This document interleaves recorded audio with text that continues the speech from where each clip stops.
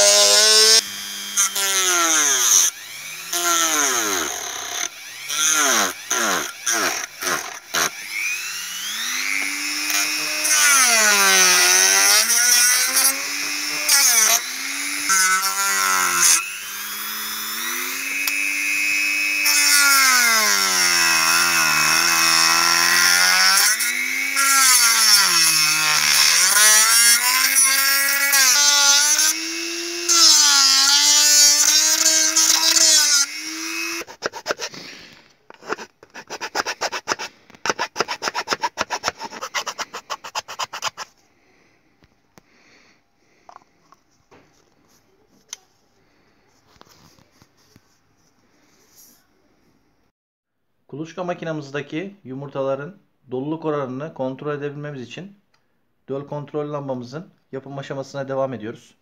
Bir önceki videoda PVC borumuzun anahtar giriş çıkış yerini keserek yuvasını açmıştık. Ben bunu sonradan boyadım. Gerekli olan malzemeler 1 adet 50'lik PVC boru, 1 adet top conta, buzdolabı içerisinde kullanılan ampul, şipşak anahtar, bir adet fiş,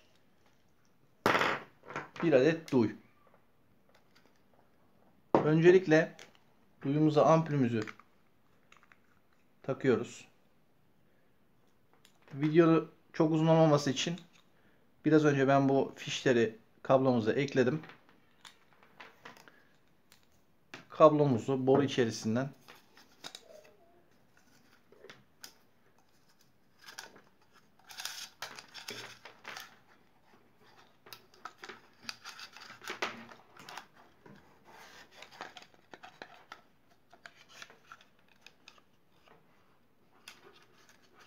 fiş bağlantı uçlarını düğme bölümünden çıkartıyoruz.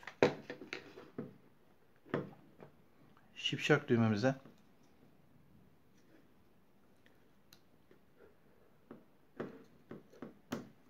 her iki ucumuzda takıyoruz.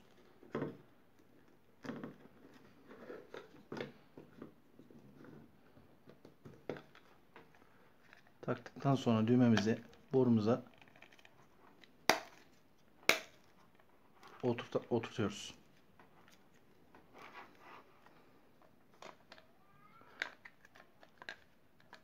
Bunu biraz aşağı doğru ittirebilirsiniz arkadaşlar. Kablodan dolayı yukarı doğru kayabiliyor. Top çantamızı da en tepeye geçiriyoruz. Geri kalan bu ucumuza da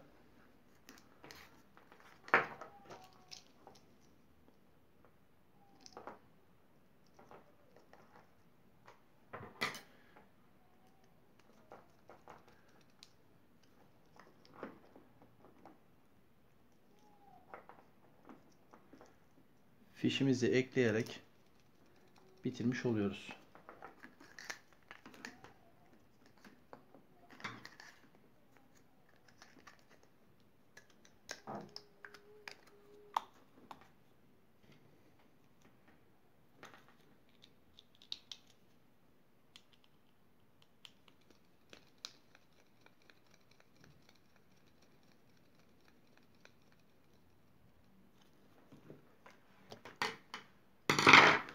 Gördüğünüz gibi döl kontrol lambamız bitmiş bulunuyor.